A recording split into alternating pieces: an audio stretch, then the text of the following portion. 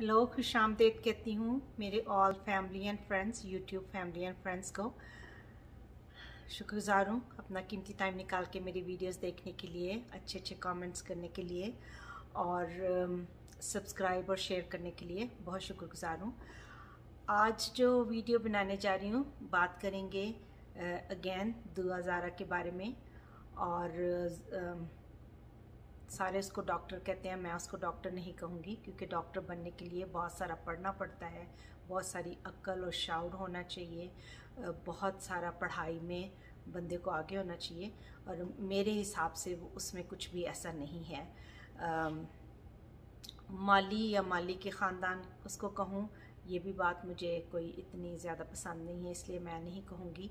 कोई इसको टूथपिक कहता है वो चलता है वो लगता है टूथपिक की तरह। शायद ये मैं उसको कह लूँ मारिया ली उसको ज़िंदा लाश कहती हैं। आई विश कि वो ज़िंदा लाश ही हो पर वो ज़िंदा लाश नहीं है जो वो ड्रामे कर रहा है वो वो ज़िंदा लाश जो लोग होते हैं वो ऐसे वो ऐसी चीज़ें नहीं करते जो वो कर रहा है इसलिए मैं इस बात से भी एग्री नहीं हूँ। पर एनी anyway, बात करेंगे जहीर के बारे में। वो जो भगोड़ा जहीर है आ, मैंने इसलिए कहा कि वो उसने ख़ुदकुशी कर ली है। उसने ख़ुदकुशी तो आई विश के वो कर ही ले कि दुआ ज़ारा की जान छुट जाए। लेकिन वो किसी का बेटा है, मैं ऐसे भी नहीं कह सकती। मैंने अपना बेटा खोया मैं जानती हूँ कि कितनी तकलीफ़ है। इस बात की तो कोई माँ इस तकलीफ़ से गुज़रे, मैं कभी भी नहीं चाहूँगी। लेकिन उसने खुदकुशी इस तरह की है मेरी नज़र में कि उसने जो कोर्ट में आज हाज़िर नहीं हुआ, आज उसको वहाँ पे अपियर होना था कोर्ट में तो वो नहीं हुआ। तो उसने अपने पाँव पे खुद ही कुल्हाड़ी मार ली है। अगर वो अपियर हो जाता और अपनी सफ़ाई पेश करता तो शायद उसके उसके बारे में भी कोई सोचता। लेकिन वो कानून के साथ खिलवाड़ कर रहा है तो अपने पाँव पे खुद ही कुल्हाड़ी मार रहा है। इसलिए मैं कहती हूँ कि उसने खुदकुशी कर ली है कि वो उसने अपने जो उसके राइट्स थे, उसको गिव अप कर लिया है। उसको जो वो भागा फिरा था, बहुत बड़ी चीज़ बना हुआ था, वो खुद ब खुद ही उन सारी चीज़ों की उसकी खुदकुशी हो गई है। इस नज़र से मैंने ये कहा है कि जहीर ने खुदकुशी कर ली है। खुदकुशी उसने इन अपनी हरकतों से की है।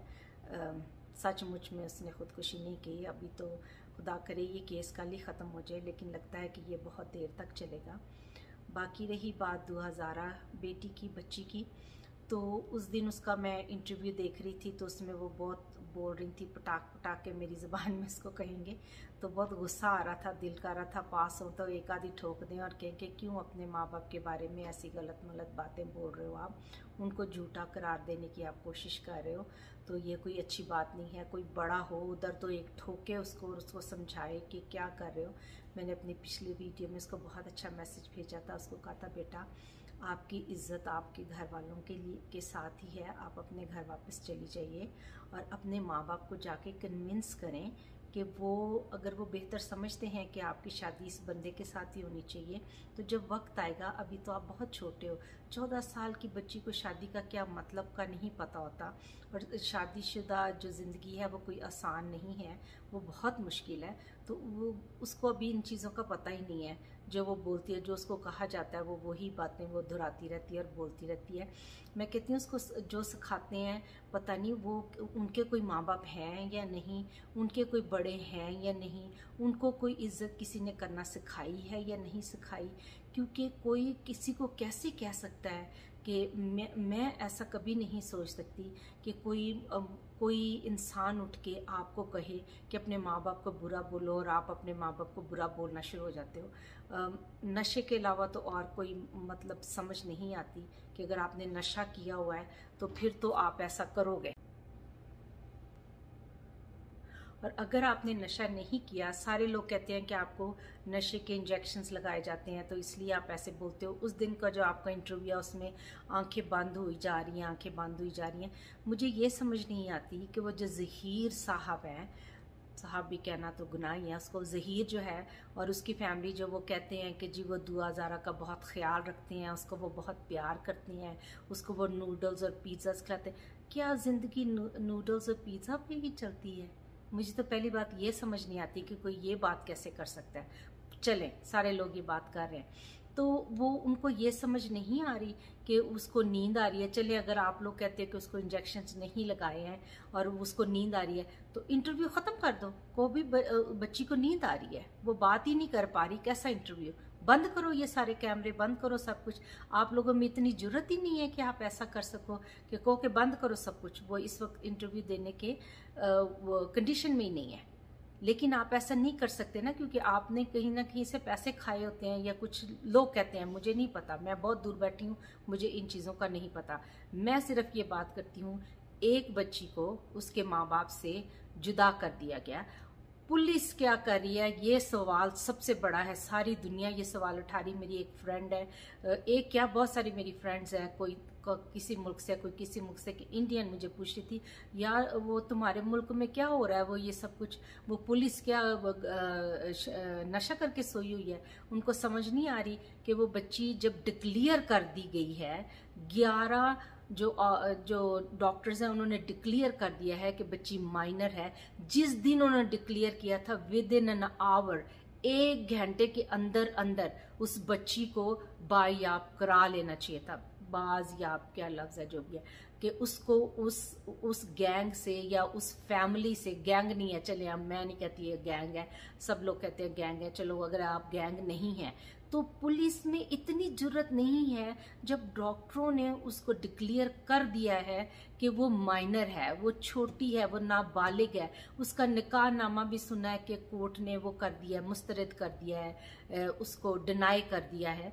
तो वो पुलिस उसको वहाँ से निकाल नहीं सकती कि अब भी उसका उस आदमी उस लड़के के साथ होना जो है, हर मज़हब के हिसाब से गुनाह है, जिना है। जो वो बच्ची उसके पास अभी तक है। और पुलिस जो है, मुझे तो लगता है कि दुआ जारा को नशे के टीके नहीं लगाए जा रहे, ये पुलिस ऑफिसर को नशे के टीके लगाए जा रहे हैं। ये नशा करके सोए में अभी ये वीडियो शुरू करने से पहले मैंने किसी का पढ़ा, उसमें काजमी भाई भी नज़र आ रहे हैं, उनकी मदर भी दुआ जारा की नज़र आ रही है, दुआ की भी उस पर उन्होंने स्नैपशॉट लगाया हुआ है कि पुलिस चर्च चर्च पी के सो रही है। वाकई पुलिस चर्च पी के सो रही है।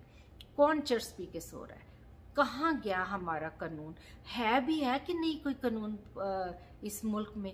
कि बच्ची को जब डिक्लेयर कर दिया गया है तो फिर वो अभी तक उनके पास क्यों है? ठीक है माँ बाप के पास नहीं आप दे सकते कानून के हिसाब से, मैं नहीं जानती। लेकिन वहाँ से तो लेके किसी रिस्पॉन्सिबल पर्सन को तो दी जा सकती है ना बच्ची? अभी तक वो बच्ची उसके साथ एक छत के नीचे क्यों है? ये बहुत बड़ा सवालिया निशान है। और दूसरे मुल्कों के लोग भी ये सवाल कर रहे हैं कि अभी तक बच्ची जब उसको डिक्लेयर किया गया है कि वो छोटी है तो वो अभी तक उस आदमी के साथ क्यों है? कितने शर्म की बात है। सबके लिए शर्म की बात है। बड़े ऑफिसर से लेकर छोटे ऑफिसर तक शर्म की बात है कि वो बच्ची को अभी तक बाजाब नहीं करा सके।